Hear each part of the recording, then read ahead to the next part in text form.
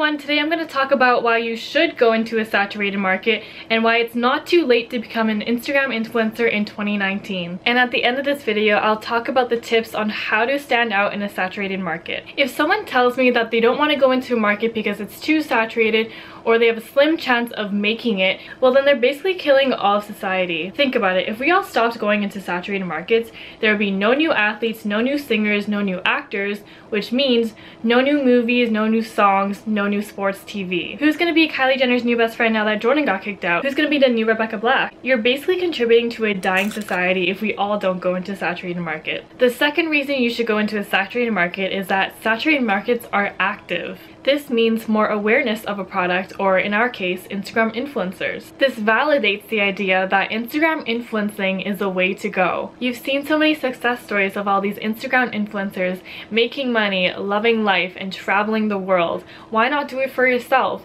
You basically have full living proof that this shit works and this shit is achievable. People are looking up to Instagram influencers for advice and motivation. People buy into people. People don't buy into products. This is the route our society is going into, so you might as well jump into the bandwagon. The third reason is that some people blow up overnight.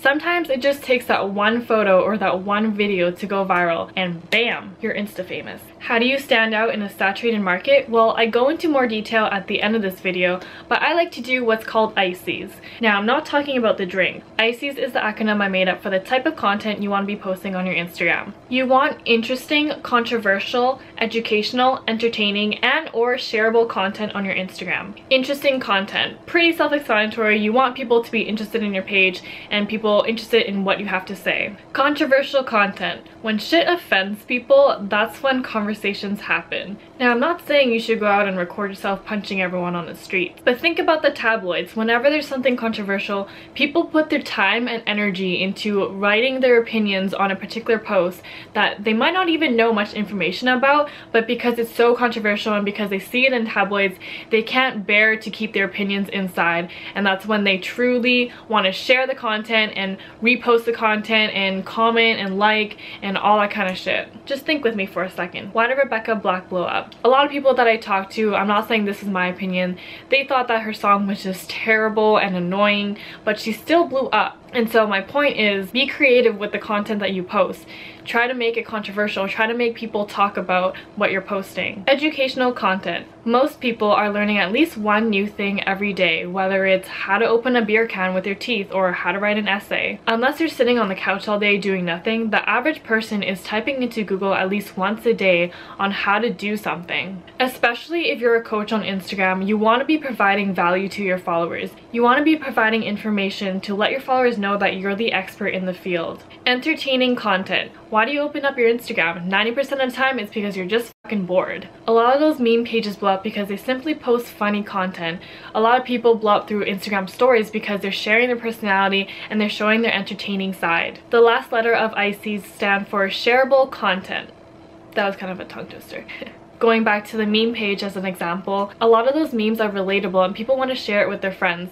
I'm pretty sure most of you have those group chats where you share a meme page because there's one post that you all can relate to. The fourth reason you should go into a saturated market is that you're no longer the guinea pig. That means you no longer have to test things out. There are so many videos like what I wish I knew before I started a business, how to grow on Instagram in 2019, how to date in 2019, how to eat a macaroon in 2019. You can learn from these people's mistakes and you don't have to go through the trial and error period because all those people have done it for you. I've been using Instagram for years, so that's why I have a great understanding of how the algorithm works and I have tested and proven strategies. So you can grow your Instagram pretty fast because I already give out four years of my knowledge on my Instagram and there's so much information that you could search up online. So before you start anything, I recommend you always do your research. The fifth reason you should go into a saturated market is that saturated markets are everywhere. So you might as well get into it. Microsoft was running the game, now Apple is taking over. Someone had a crazy idea to allow strangers to take them to their destination. Now Ubers are taking over taxis, sadly not in Vancouver. Remember when we had to actively leave our house to go rent a DVD from Blockbuster? Now we have Netflix. And chill.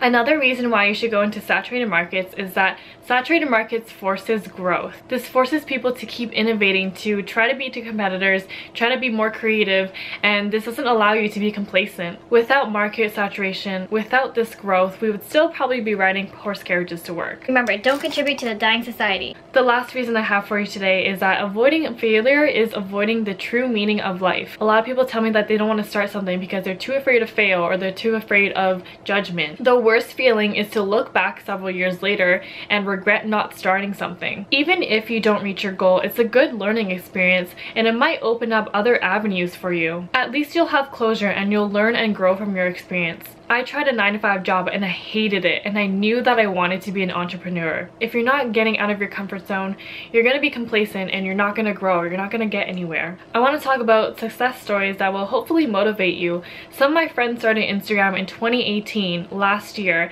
and now they have almost 200,000 followers on Instagram. My clients grew from 400 followers to 4,000 followers in one or two months. A lot of my followers have surpassed the 10k mark which has been their goal for the longest time. So if they can do it, you can do it too. So how can you be successful in a saturated market? The first tip is pretty obvious and that's to be creative. Figure out what the competitors are not doing. And please, please, please do not be another pretty face on Instagram. We already have enough of those. Put some substance into your captions and to your stories. Be influential, which is actually what an Instagram influencer should do. I get it, I get it. Instagram started off as a platform to just simply express your creativity. So if you want to go that route, then by all means do that. But in order to stand out in a saturated market, you want to provide value to others. Tip number two is to not follow money or fame. If you want to grow your Instagram account because you just want to be Instagram famous or you want to make money, then you will have a really difficult time getting there because you will have your good days and you will have your bad days. With anything in life, you should always have a greater purpose. I always tell my clients, what is your why? Figure out the greater purpose behind something instead of vanity metrics. I use my Instagram because I want to inspire people. I started using Instagram as a catalog for my recipes and my fitness journey and that's how I grew my following because I was passionate about it. Tip number three is to have a good relationship with the platform and actually enjoy an aspect of it. I genuinely love editing and taking photos for my Instagram. I would spend hours just editing one photo or I would spend hours just writing out one caption and that's because I truly love it. The last tip is to analyze the market or your competitors. So using the Kardashians as an example, how do they always stay relevant in the media? You always want to analyze the people that are trending. I don't really keep up with pop culture, nor do I really care about it, but they somehow manage to keep popping up into people's conversations. What do you think about the whole Kylie Jenner and Jordyn situation? I don't really know if I want to open up the comments for this discussion. Anyways, I hope you enjoyed this video and I hope this video inspires you to pursue your dream no matter how saturated the market is. If you enjoyed this video, I appreciate it if you give it a thumbs up and subscribe. And you can follow my Instagram where I post more Instagram tips daily.